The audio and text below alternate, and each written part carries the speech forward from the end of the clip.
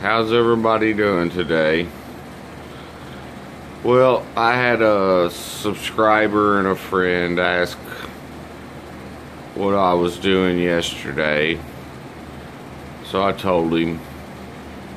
And he asked he could see it. So I told him I'd make a short video for him. Let him see what I was doing. It's just a walnut vase from a small branch. It's about six inches tall. Natural edge.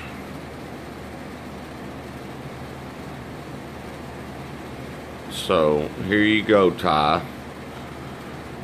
That's if I could get you a view down in here, I'll try to.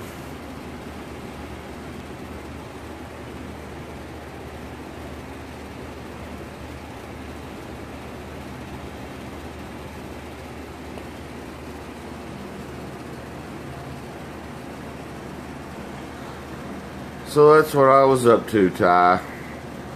It's uh, natural edge face. Kind of like uh, another fella I know that turns. He turns them all the time, Al Furtado. Sort of like one he would make, so. Thank you all and like, share, subscribe if you haven't. Thank you.